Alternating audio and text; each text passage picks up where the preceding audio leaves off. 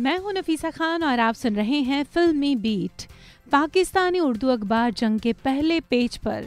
Bollywood actress Nargis Fakhri के छपे इश्तिहार को लेकर सोशल मीडिया पर बवाल मचा हुआ है। यहाँ लोगों ने इस विज्ञापन की निंदा कर इसे घटिया और बेतुका करार दिया।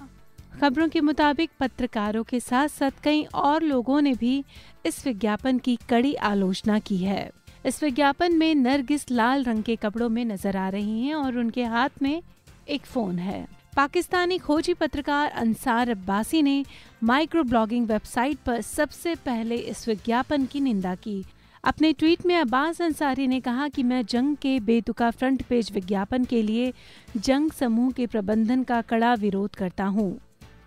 इसके बाद मतीउल्ला जान ने भी ट्वीट किया, अंसार अब्बासी साहब, आप बिल्कुल सही हैं। नरगिस फाखरी की खूबसूरती थ्री जी के साथ कुछ नहीं कर रही है, ये घटिया है। मैं आपसे पूरी तरह सहमत हूँ।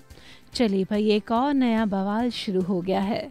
फ़िलहाल इसी खबर के साथ फिल्मी बीट में बस इतना ही।